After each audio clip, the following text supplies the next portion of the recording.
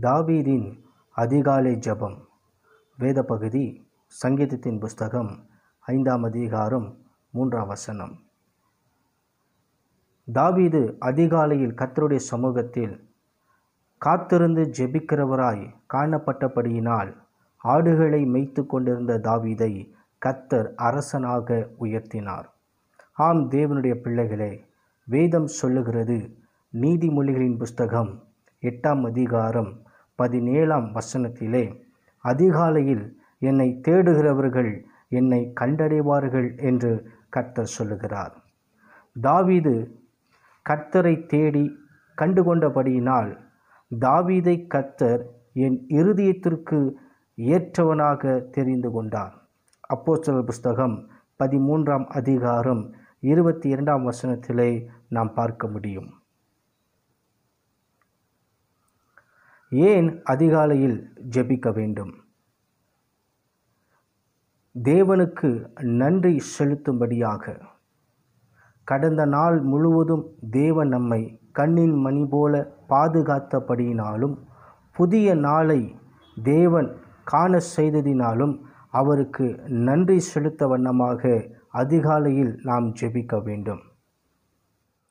புலம்பல் புஸ்தகத்திலே மூன்றாம் அதிகாரம் இருபத்தி இரண்டாம் வசனம் இருபத்தி மூன்றாம் வசனம் சொல்கிறது காலைதோறும் கத்தருடைய கிருபைகள் புதிவைகளாய் இருக்கிறது என்று. ஆகையினால் அதிகாலையில் ஜெபிக்கிறவர்கள் தேவனுடைய கிருபைகளை பெற்றுக்கொள்வார்கள். வேதம் சொல்லுகிறது மத்த எழுதின சுவிசேஷ புத்தகத்திலே ஆறாம் அதிகாரம் முப்பத்தி மூன்றாம் வசனத்திலே முதலாவது தேவனுடைய ராஜ்யத்தையும் அவருடைய நீதியும் தேடுங்கள் என்று கர்த்தர் சொல்லியிருக்கிறார். ஆண்டவர் விரும்புகிறதெல்லாம் நம்முடைய வாழ்க்கையிலே அவருக்கு முதலிடத்தையும் முக்கியத்துவத்தையும் நாம் அவருக்கு கொடுக்க வேண்டும் என்பதே. நம்முடைய வாழ்க்கையில் தேவனை நாம் எந்த அளவுக்கு முன்னிலைப்படுத்துகிறோம் முக்கியத்துவம் கொடுக்கிறோம் என்பதை அதிகாலை ஜெபத்தை வைத்து தெரிந்து கொள்ளலாம். தாவீது ஆடுகளை மேய்க்கிற போதும் சரி சவுலுக்கு தப்பி ஓடும்போதும் சரி அரசனாக இருந்தபோதும் சரி அதிகாலை ஜெபத்தை விடவே இல்லை. அதிகாலை ஜெபிப்பதின் ஆசீர்வாதம் என்ன? அந்த நாளின் தேவைகள் சந்திக்கப்படும் அந்த நாளில் தடைகள் நீக்கப்படும் அந்த நாளில் சமாதானம் உண்டாகும் அந்த நாளில் தேவனால் வழிநடத்தப்படுவோம் அந்த நாளில் ஆபத்துகளிலும் விபத்துகளிலும் தப்புவிக்கப்படுவோம். அந்த நாள் முழுவதும் சாத்தானையும் சத்துருக்களையும் நாம் ஜெயிக்க முடியும். அதிகாலையில் ஜெபம் செய்து வந்தால் தேவனால் வல்லமையாய் பயன்படுத்தப்படுவோம்.